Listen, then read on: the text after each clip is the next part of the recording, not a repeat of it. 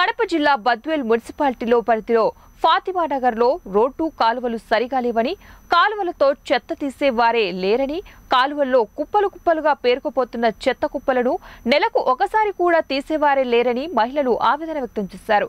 మురికి చెత్త చెదారం అక్కడే ఉండటం వలన పందులు సంచారం ఎక్కువైందని ఈ ప్రాంతం అడవిలో ఉన్నట్లుగా ఉందని ప్రజలు వాపోతున్నారు. ఎన్నిసార్లు కూడా అధికారులకు చెప్పినా స్పందించడం లేదని ఇప్పటికైనా అధికారులు స్పందించి ఇక్కడ ఉన్న చెత్తను తొలగించాలని కోరుతున్నామని తెలియజేశారు.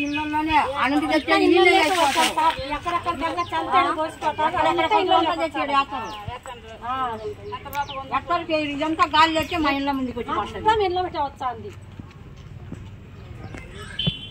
నా వారు ఏ ఒకసారి తీసుకుపోతారు ఎక్కడెక్కడ తెచ్చి వచ్చి రాక పదహైదు రోజులు అవుతుంది సార్ రాక పది రోజులు. నీళ్ళు రాక పది రోజులు. కసువు రోజులు. తీసుకోపాక పది రోజులు. ఆ కాలువలు తీసేదిలే.